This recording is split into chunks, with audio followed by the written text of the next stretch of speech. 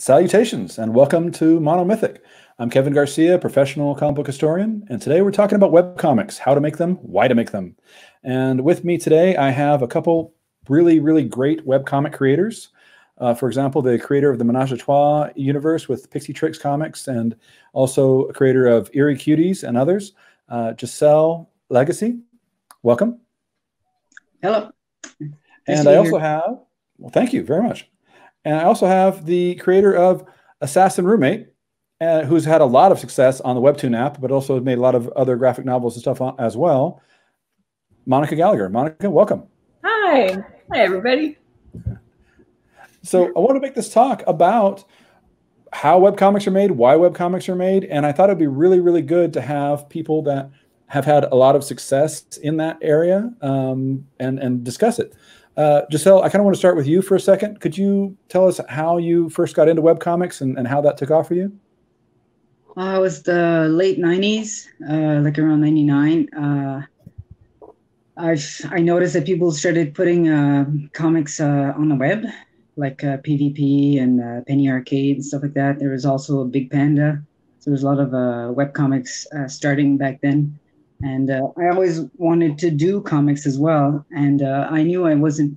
Uh, I mean, it was almost impossible to be like to get syndicated or anything like that. So I figured, okay, well, uh, I mean, this looks like to be the future.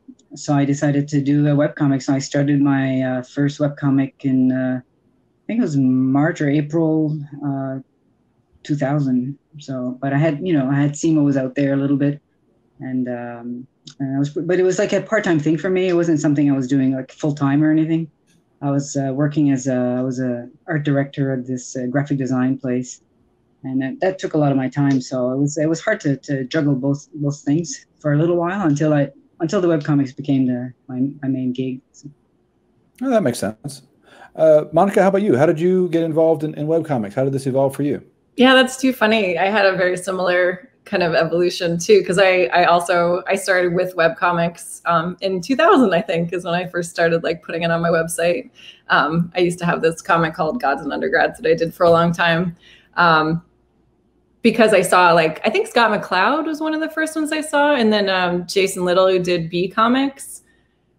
I got into theirs before I saw like um, Danielle Corsetto, Girls with Slingshots, and the like uh, the PvP people and stuff. So yeah, it's really fascinating that it was kind of like we all kind of like noticed it and like latched on at the same thing. Like it's such a great way, it's such a great equalizer that you don't have to like wait for a publisher or anything like that. You can just like start creating and putting it out there. Well, what makes web comics uh, that that you mentioned it as an equalizer, and Gisele, you talked about it being like the way of the future um, what what makes web comics as opposed to the the traditional printed, often monthly comics we have in the U.S. Um, so so appealing, Gisele? Uh, I don't know. I mean, for me, I just did it because I it was easy. Like I didn't have to, I could control everything. I didn't have to talk to anybody. I didn't have to anybody over my head. Uh, and instant feedback when you would you'd post something up there, uh, you'd get people, you know, I don't know. It just felt natural. It just felt like to me it was like logical. Uh, so, and there's a certain freedom to it too. Like you can do whatever that whatever you want. Uh, there's no uh, there's no editor telling you to uh, you know you can't do this because it's going to go in this paper and it'll it'll never fly. Uh, so for me, uh, and I was a musician before uh, too. So you know it was always something that I and I would write my own stuff and it was always I was a bit of a rebel, and I think uh, this felt rebel. So I guess I liked it because of that. Monica, what do you think? Uh, I think because most everyone can access it, and you can you have a direct link to the people reading it. That has always made it really, really um, just such a, a a special connection between you and your readers that you don't get a lot of times with print comics because there's like such a delay and how long it took you to make it and then by the time it gets out to people and then maybe you hear like 10 years later oh i really like that book it's like oh cool so yeah i love the the instant feedback and community that it creates because it, it, does create and you also there's also also this freedom that it hasn't gone to print yet so i mean mm-hmm. if there's mm-hmm. something to fix you can fix it Yeah. Like, uh, yeah. there's something so final about going to print. Uh, it's like, you know, you'll notice mistakes and it's already printed on the web. You just fix it. It's not the end of the world, you know? Mm-hmm. Yeah. And it really helped me um, learn how to write and learn how to structure scenes and um, like cliffhangers and chapters and stuff because I was just kind of playing around with and I, I didn't think anyone was reading it because I don't think anyone was for a while. So I had the freedom to just like experiment, which I think is really nice about web comics. And I think the the the deadlines, like the the, the little deadlines that you give yourself, like you know, I don't know if let's say you update three times a week, well, it, it keeps you going. Like mm-hmm. I don't know, for me, it was a, a it motivated me to draw versus I think if I had something with a deadline that was much further, I think I would have been like I wouldn't have been drawing the pages. I would have found maybe something else to do. I don't know. I would have been slow. This this kind of like keeps me keeps me going. It's like uh, make sure that I'm doing my my my job and because I have to put the update up versus if I say oh well I can wait two days I'll I'll be doing something else or screwing around or you know listening yeah. to music or so. When it, when it comes to community, um, the, both of you, when you post stuff, whether it's on, on apps or on websites, you have uh, people that, that respond, they put comments, uh, message boards even. Um, how how big of an influence has that been on your own work? Do you do you change the stories a little bit as people react more to certain things? Do you get more or less excited about something if you if the fans do?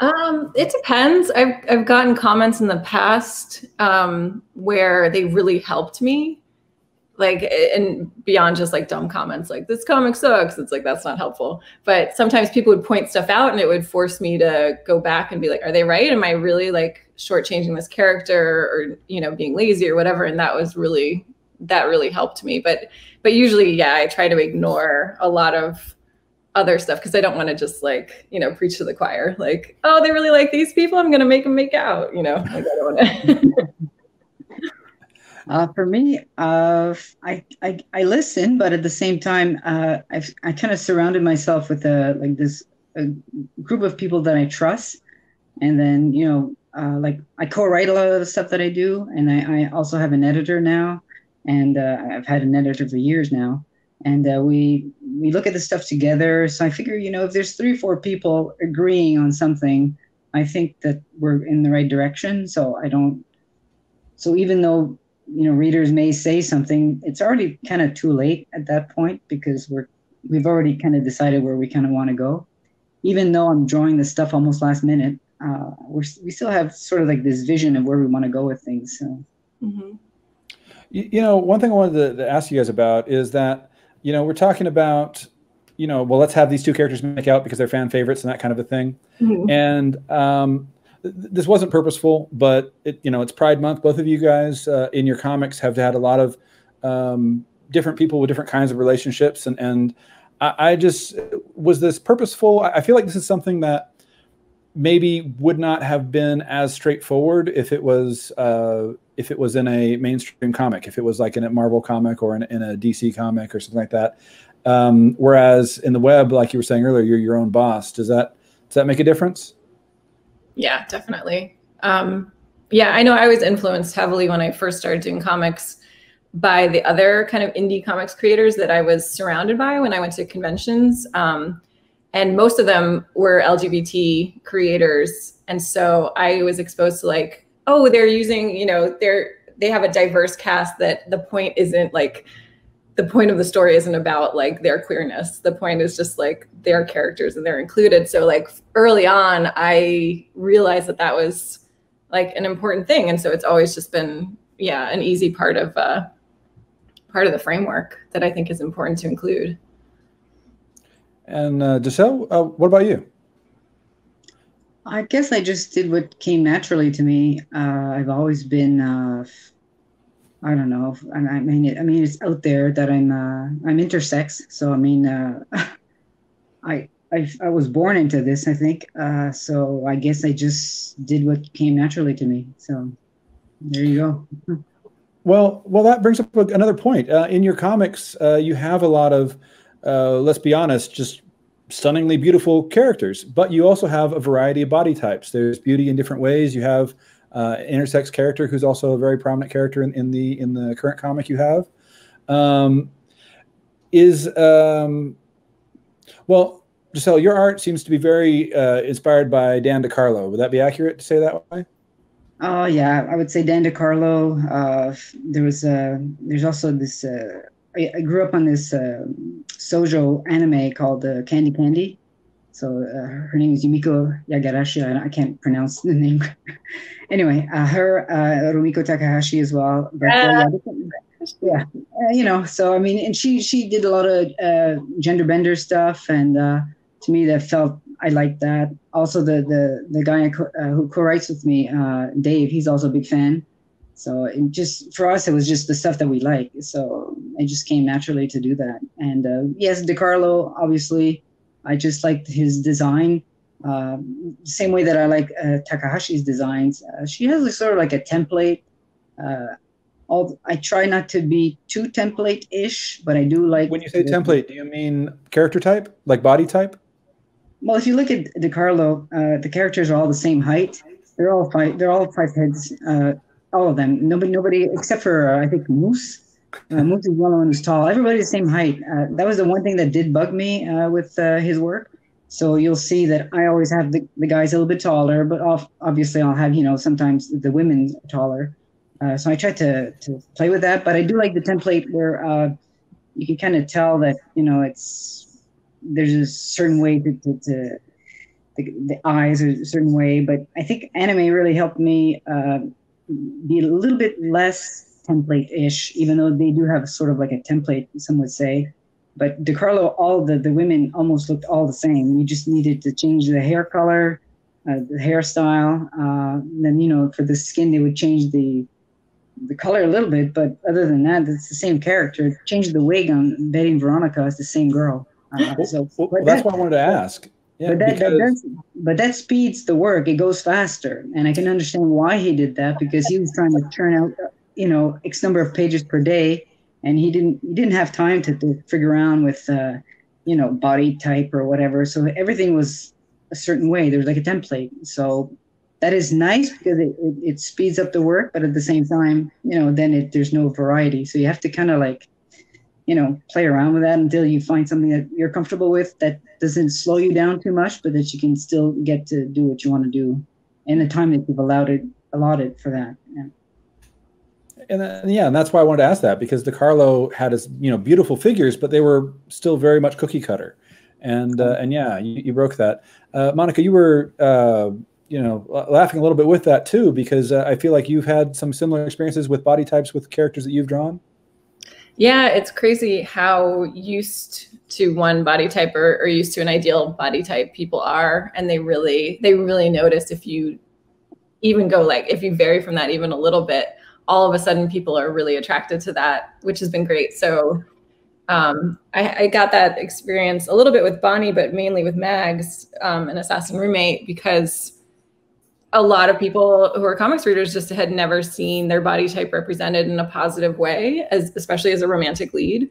So it was really interesting to kind of explore that. And I've never had so many comments, positive and negative, about a person's body type, like especially on any of these like kind of more traditional idealized characters that I've drawn. I've never had any any discussion either way.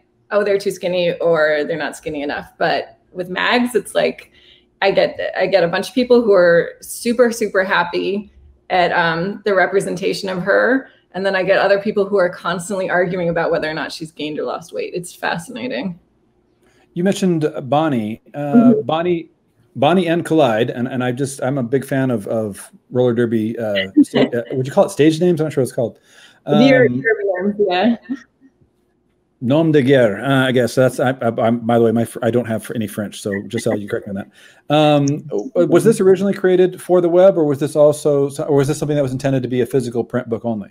It was web only, and then I, I did a Kickstarter um, a few years back to turn into print, that was kind of a nightmare, like formatting it because I'd never intended. I mean, I love, I always, as much as I do web comics for a living, I, I always want the end result to be a book, just because I love having books so, um, yeah. um, Gisele, you've also had your web comics uh, through Kickstarter and stuff, made them into physical comics. Um, a lot of your comics are seem to be done in that that eight and a half by eleven, where they're kind of designed to be in in a, in a website, sorry, in a, in a physical book. Uh, but others not necessarily. Is this something that that you think about when you're designing a comic that you plan it out to be made for the web only, or that you intend it to eventually be physically printed, or is there is that does that go into the design process when you're laying it out? Uh, well, the uh, Menage a Trois and uh, uh, like Sticky Dilly Bun and Sandra on the Rocks, they were all uh, done. Um, the four panels. It was uh, two two panels on top of two panels, but it, it, always splits in half. So for a long time, for like many years, uh, I had the second half put next to the first half. It looked like a newspaper strip, and that was that was like that for like I don't know over ten years for sure. It's just recently that I changed it up, and now that you see the two, you see the way that I draw it, which is two on two, two on two but it was always done as a, a, a, strip. It was always intended to be sort of like a newspaper strip that I could then put mm. two on two so that I could print it out as a. You can see there's like a split there in the image. You can take that too and put it on the side, and you got a newspaper strip. And you bring it down, you got a, a page like a manga sites uh, a book, for instance. So. That's really smart to format it that way. I never, I never considered that because I, and, I was really influenced by newspaper and it was all very horizontal. But it didn't. And I also, it, it also helps now for Instagram because I can they're all four panels and then I can just do the swipe. So it has uh, like so many multiple uh, ways that you can use it, but you got to stick to the you know you got to stick to those panels. Mm-hmm. So. Uh, Gisele, you've uh, you've put comics on a couple different apps. I've seen your stuff on Comics Chameleon, uh, on Webtoon. Uh, there's also another one called uh, Tapas that that is also very pretty popular. But I think Webtoon's probably the most popular right now of, of Webtoon app uh, webtoon apps out there, web comic apps out there rather. Um, but I, I, don't see you posting them on the apps as regularly. Uh, you've mainly stuck with the browser. Is there um, a preference to the browser-based comics for you? Uh, it, it, does it change things when you're trying to put it on onto a, an app? Uh, I normally uh, the Comics Chameleon. I don't do that. They they they pick it, they pick them up and they they I guess they format it for that. I don't do anything with that. Uh, as for uh, Webtoon and uh, Tapas, I think it's called, I tried it out a few months ago. I I think I updated for maybe about a month or whatever, and then I just gave up. There was no, uh, it's just it wasn't going anywhere for me. Uh, I know it's a popular place, but it's I think it's popular for people that um, I guess that are pushed or that they're helped. I guess through this community. I don't know anybody there. Uh, nobody ever approached me for anything there.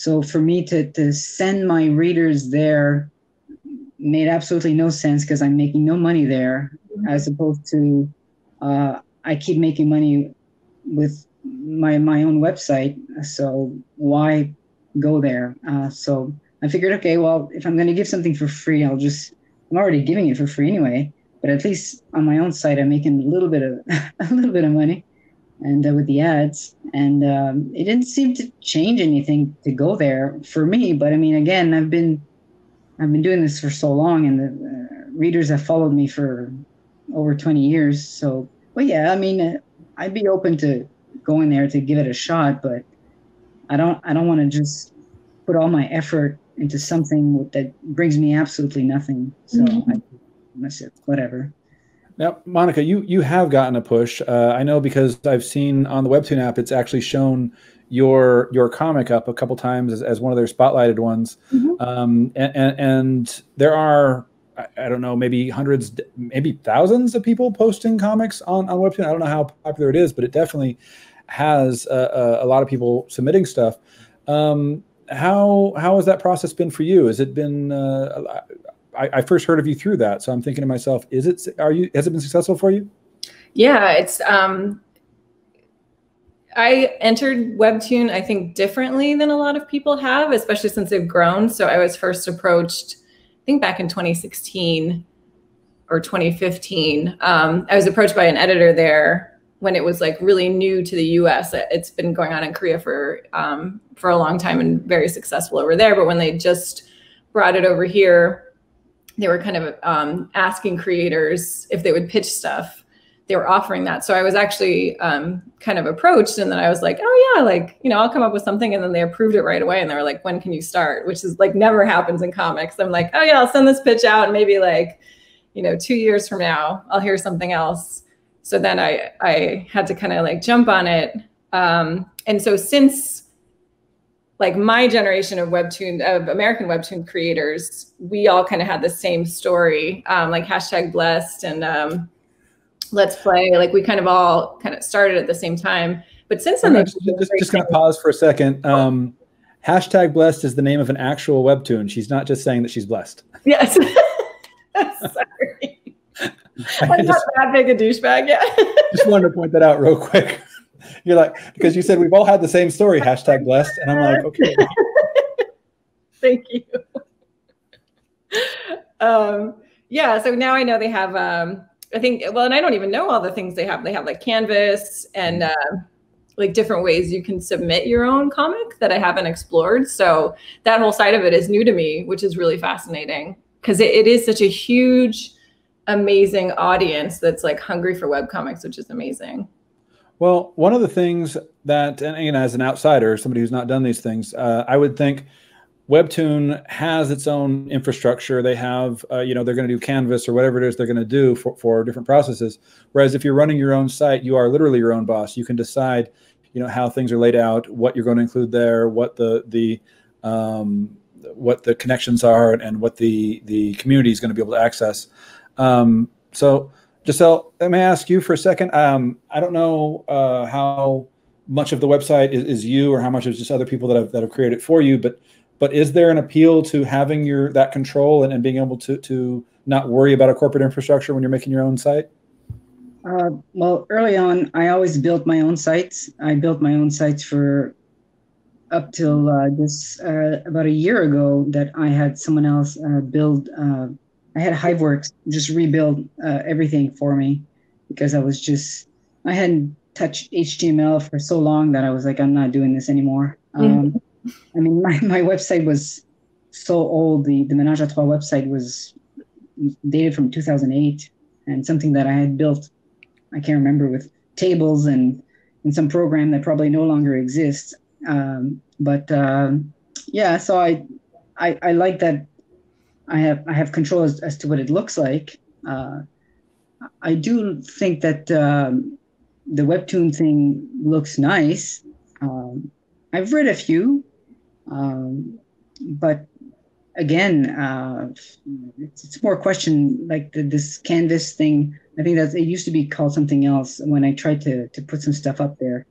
There's just so many people there that it's really hard to uh, to stand out. So, uh, which was the case before too. I mean, before this webtoon thing, before when it was Keenspace and Keenspot and all these things. I mean, it was a sea of, of webcomics. Uh, but back at, back in the day, you could at least uh, try and advertise uh, through Project Wonderful mm-hmm. to, push, to, to, push your comics somehow. But now it's just like mm, there's like no place to push it, so you have to go into social media, try to push it through Facebook, Instagram, whatnot. And um, because at, at Webtoons, uh, they're certainly not going to push it for you. I mean, uh, so you have to advertise someone somewhere else, unless of course they approach you. Uh, like they did approach me in 2016 to do something, but I was working on. In 2016 was a really busy year for me. I was I, I was doing Betty Boop. I was working on the Ramones with Archie, and it was just like I said, I don't have time for this. So I I, I didn't do anything f- for them. I didn't do a pitch. So then I think by, by the time that I was kind of ready to maybe do a pitch for them, uh, I think whoever was there before was gone, and and I don't know who the hell works there now. So, and I haven't really bothered to look. So, it's I guess I don't care too much. So. well, that's fair. You, were talking earlier that uh, you put things in that that uh, often your comics will be web comics. And will be in that four square format.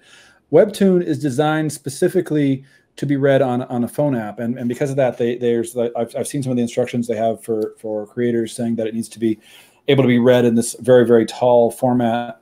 Um, Monica, I want to ask you uh, since you've been working with Webtoon for a while now, uh, has that affected how you lay out and, and plan a comic? Oh yeah, Yeah, they they had told me about it um, initially, and then I, I, guess I wasn't paying attention because I submitted my first page I think like five times before, they, and they were like, "No, that's not that's not right." You have to like I didn't understand that you had to split up the panels, so it's not page based; it's panel based. And then uh, the way that you read it is really influenced by both like timing, like how fast you scroll through it, and how much space you have between panels. And if you want like extended panels, it's really fascinating. And I haven't played around too much with my comics. They're very like panel, panel, panel, dialogue, dialogue, dialogue. But I've seen other webtoon creators do beautiful, like huge, long scrolling, you know, really taking advantage of the infinite canvas um, and adding music and effects. And it's just, it's fascinating to see how you how it changes basically um, what we normally think of as like page layout in comics and, and gutters and everything and it, it kind of gets flipped and you read it almost a different way depending on like how you format it. Yeah i think it's it's kind of a it's a fun experiment. Well that actually makes me think for a second. Um, a lot of the web comics that, that both of you have done you've published them physically in some form whether it's a a, graphic novel or, or, or like a regular traditional floppy comic book. But if you were to try to take your webtoon and publish it, I'm not. I, I, have you published Assassin uh, Roommate as a, physical book? Yeah, like we just. Uh, did, did you have to reformat it and everything?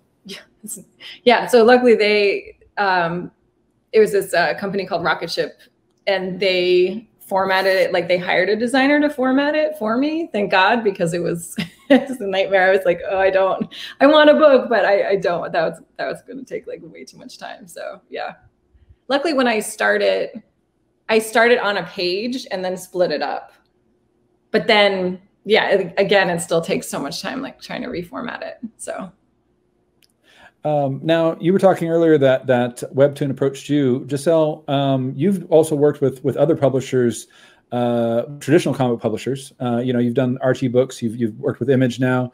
Um, how did those things come about? How did that that process come about? Uh, did they notice your your web comics and that gave you an in, or was that unrelated?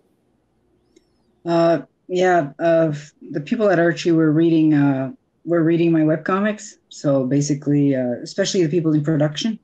So they would say, "Oh, you should, you know, you should, your style really would fit with Archie, so you should uh, you should pitch something." So one time I pitched uh, something for they were trying to revamp uh, Josie and the Pussycats, mm. and um, I was supposed to be working on some something for them, but they shelved it for they shelved it for many years. Uh, same thing with Sabrina, and uh, by the time that they came back to it, uh, I guess they unshelled it. Uh, I guess they had someone else working on it.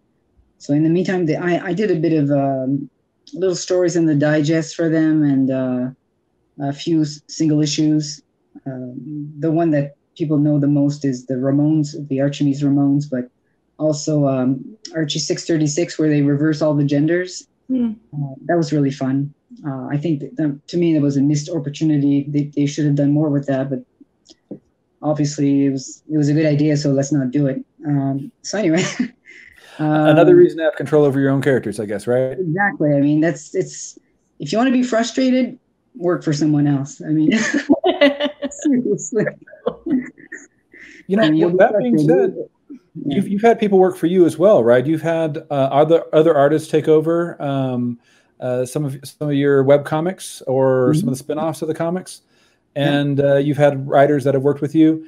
Is it is there something appealing to? Or, well, let me put it this way: Are you the boss when it comes to that kind of stuff? Are you kind of uh, being able to to guide the ship a little bit, so to speak? Whereas if you're working with a bigger company, you're just a cog in the machine. Mixing my metaphors yeah. there. Yeah, I'm technically the boss, but I'm I'm probably not a very good boss because I just let people do whatever the hell they want. Uh, luckily, I have an editor who looks at everything, and I trust him. And uh, T. Campbell, who I've worked with long, I mean, I've worked with him since 2000. So he he probably is the one who suffers the most uh, in regards to dealing with people that are, you know, not happy with the, the tweaks that he, he did or whatever. But uh, I think now that we've we found a certain rhythm where everybody's sort of happy. There was a period maybe where there was a little bit of infighting, but uh, I think we're pretty good now. So Monica, have you worked with uh, other publishers, other editors? I, I know that uh, you worked with Oni Press a little bit. Yeah, I've worked you know? with Oni. Um, I've done, I did a short story for Vertigo for one of their strange sports anthologies, which is really fun. Uh, I've done some covers for Valiant. Um, oh, and then I did a, a kid, not a kid's book, but a, a, kind of middle grade book called GFFs for Papercutz. Uh, I did two uh, books for them. So yeah, I've worked with a bunch of different publishers. And, and it's usually like standalone books. I haven't really done, I'm trying to think, I haven't done a series besides working with Webtoon for Assassin Roommate. Well, is there a difference between working with the, I don't, I don't know if you call them editors, producers, I guess, at Webtoon, and then working with the editors at a one of the more traditional publishers. Have, have you had differences in those experiences? Definitely but it also i mean it's it's a very like person to person thing. Like you can have editors who are all in the same you know all comic book like traditional comic book editors and every single one of them is different. Like it just depends on their personality their editorial type uh, what they're looking for. Like if the publisher wants to be really involved or if they just want you to like do your own thing it's it's so it, it, it's really varied. I found like it's not the media or the medium that dictates how the editors behave. It's really like personality types or like what they have time for. Like some editors are they're automatically put on like 50 different books. So it's just like, well, how how noisy do you want to be, or do you want to like just like do your work and you know how much feedback do you need, or or how much you know do you do you want on your work? It's it's interesting. I guess it wouldn't be fair to, to just kind of blanket a whole group as like, well, these editors are that way and, and these editors are that way. That makes a lot of sense. Um, one of the things you said earlier, Gisele, was that you know you wish they had done more with that that gender bent uh, Archie comic. Um, and uh, you have, of course, spin-offs of your own universes where you've done uh, taken the characters that that that you've created in in Eerie Cuties or or in the Menage a Trois comics, and then done other things with them. Uh, how did that process come about? I, I, feel like it's almost from an outsider. I feel like this is something that fanfic writers would do, but it's like you're the creator and you're doing it as well. And I just think that kind of that's kind of interesting. How does how does that work for you? That having that freedom to do that. Uh, well, basically, uh, I just follow the which uh, I think they call the some of the Tezuka star system. So I think Clamp does that too. Uh, basically, they just their characters are actors and they put them in different series. Uh, mm-hmm. And then in the series, they become, you know, they have a new name and the, a uh, new personality. Sometimes there's a little bit of personality that's similar to, to a different universe. But uh, like right now, we have, uh, I'd say, four universes. So we have the Menage a Trois universe, the Eerie Cuties universe, and now we have the Ultra Luminals, uh, which is a superhero universe. So basically, like in Cuties, uh, some characters are monsters. In Menage a Trois, they're just normal people.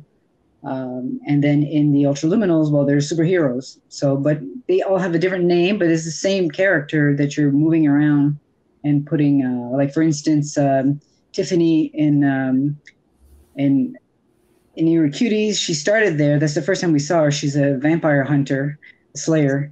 And then in um, in Menage a Trois, she's a wrestler, and then in uh, Ultraluminals, she's a superhero. So, uh, but it's the same girl, uh, and we do that a lot. Like Gary, who was the main character in Menage a Trois, he's a butler in this uh, Ultraluminals universe. So I was has, wondering what he was doing there. That makes a lot of sense. That's really. So we, we just move characters around, and then people people who who follow all the universes find it fun because they see these characters, their faces again, and oh, it's nice to see them there.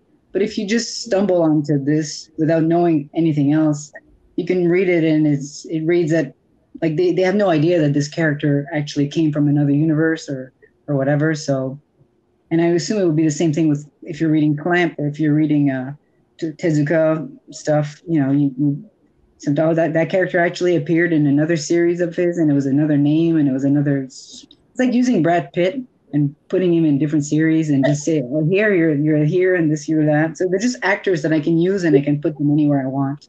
So. Yeah, it sounds like a American Horror Story. How every season it's like the same cast and they like switch up like who they're playing, which I think is really fascinating. That's fun. No, I mean it's it's it's fun for us. It's the readers enjoy it, and maybe some people don't. But I mean, I guess we lost them as readers. I guess. Uh, but but uh, you know, we just we do what we have fun with. So that's, that's what it is.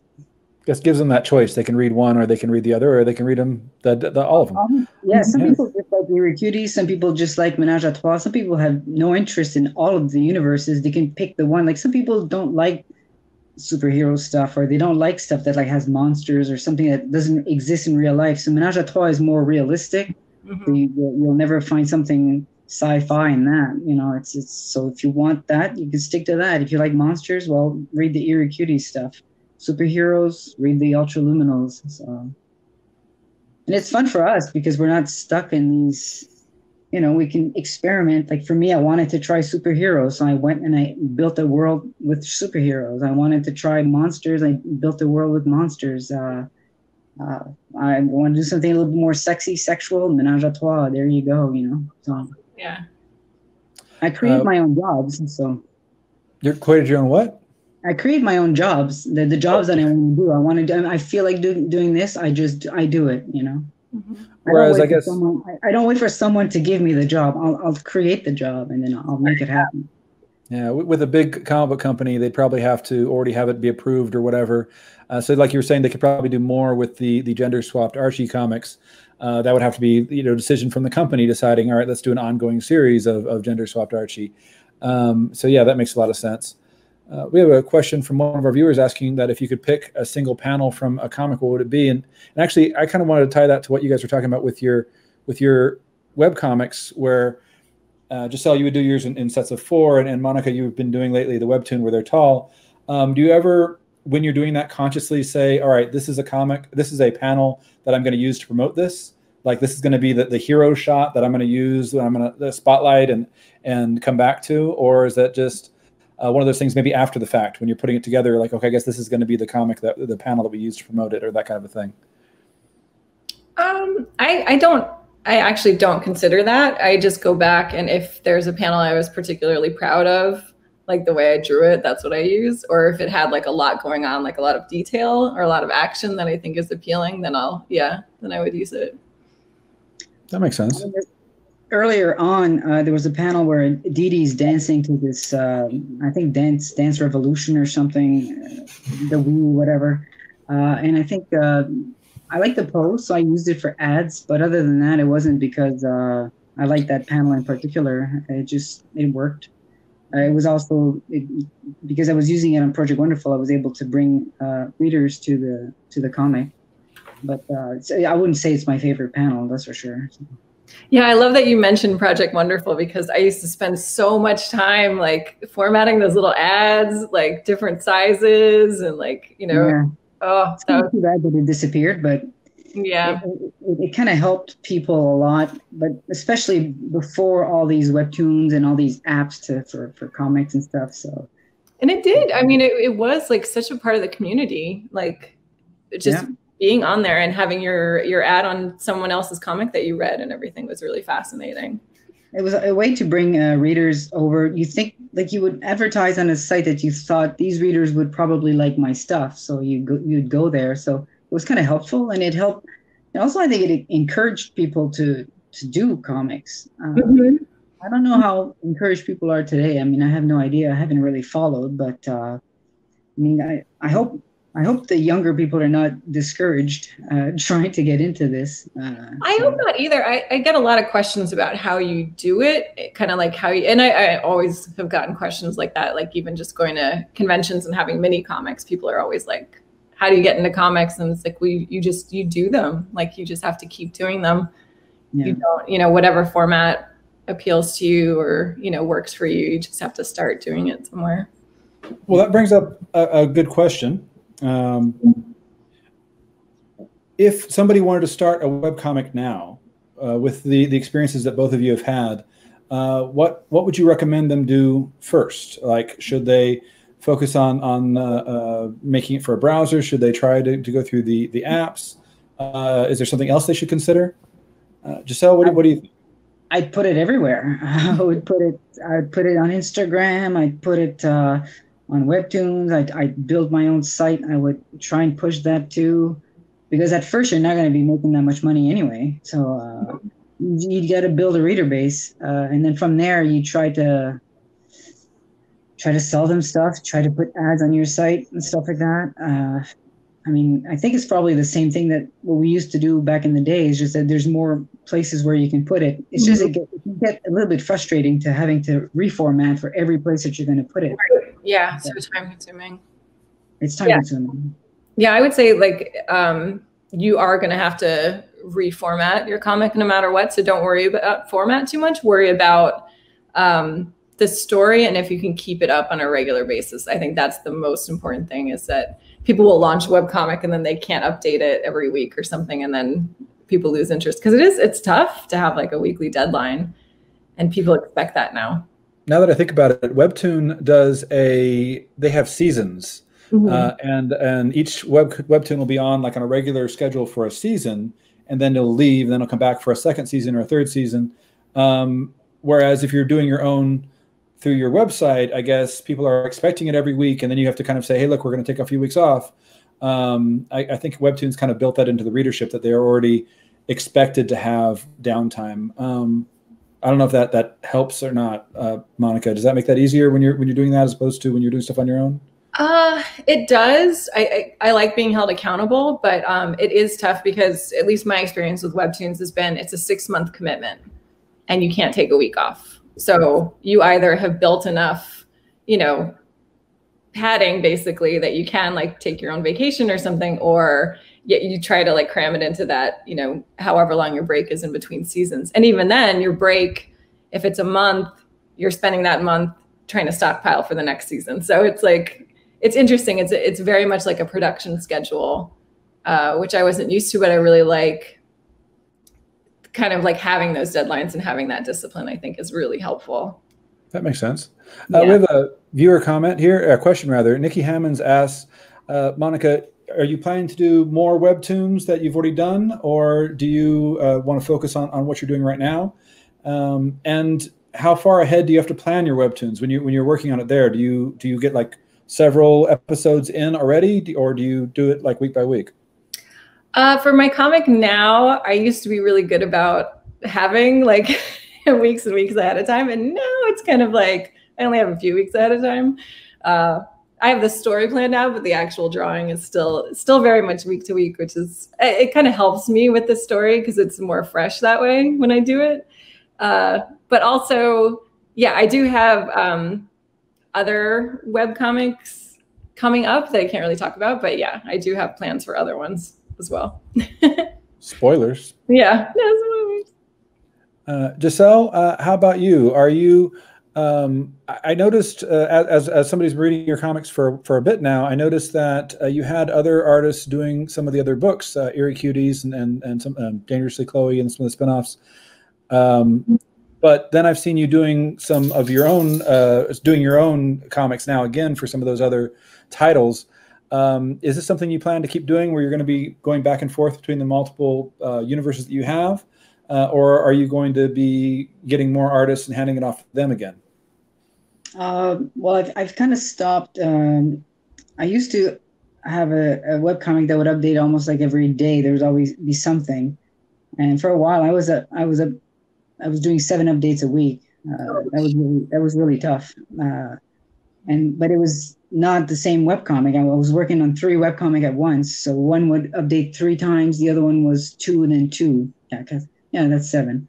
So yeah, I was doing one for three, then two a week, then two. And then eventually I couldn't handle it. So I started giving um, uh, work to other people to help me out or help me with inking or help me with something so that I could manage this. But it was tough for everybody. It was, it was tough on the people that were working with me. It was, it was tough on me. Uh, and then some series I ended up just giving to to other people uh, to do because uh, Dave, I mean Dave, he he he writes and he, obviously he can write uh, much more than I can because I'm drawing as well. I can only concentrate on writing certain things, so because I have to draw. So um, he was kind of like looking to be able to write more comics. So we ended up creating more so that he could have more stuff to do.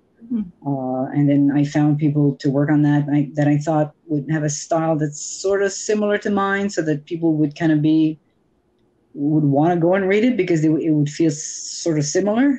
Uh, so so we went for that. But now I like the I, artist you had on Sandra on the Rocks. I like I yeah, like that. he's been in webcomics for years. He started in the 90s as well. He was on Keenspot, and even before that, he had his own own site. So I, have known him for many years. Um, but uh, yeah, I've, I've kind of stopped doing the webcomics with other people. Now I'm just updating my own for now. And the when I hire when I hire people, it's mostly to do like one shots and uh, mini series that I fund through the Kickstarter, so I don't have to worry about because ad revenue has kind of gone down like really bad.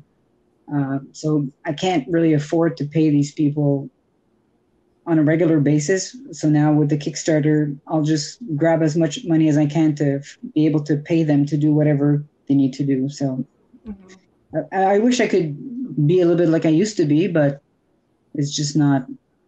It's not there. So. Are there any upcoming projects that you want to let people know about? Uh, current, I think you have a current Kickstarter right now, uh, Gisele. Yep. Is, is, there anything that you want to uh, want to talk about? Get people to be on the lookout for. Uh, well, it's almost funded, so it's uh, we're basically uh, trying to fund the first volume of the the new webcomic Pixie Trix Comix, which is basically set in the world of Menage a Trois. But it, there was a comic book shop in Menage a Trois, so basically it's just where the, the setting versus the apartment is the comic book shop uh, and then the the cast is a mixture of old new, old and new. Uh, I even brought people from uh, Sticky Dilly Buns. I brought them in. Um, so we're trying to fund the first volume of that. Uh, then I did a one. I worked on a one shot, uh, a Z Z from Menage a Trois.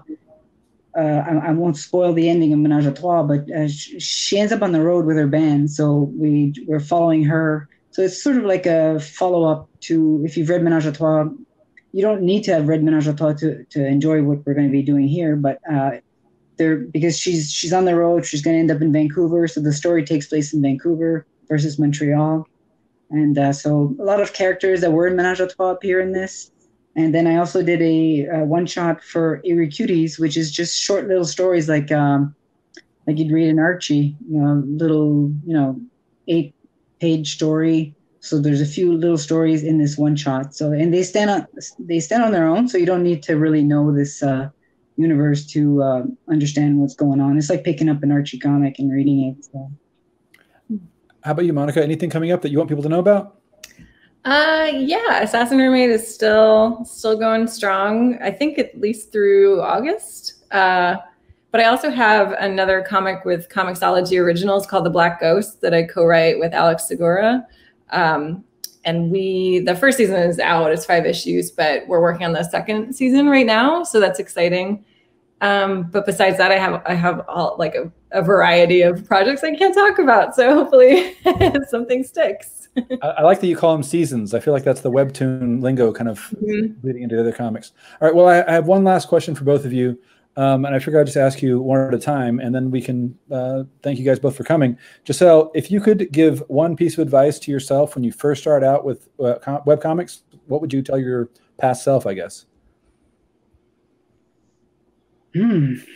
I don't know. I guess uh, I've changed a lot. Uh, I guess I would say be patient. I guess uh, have a lot of patience.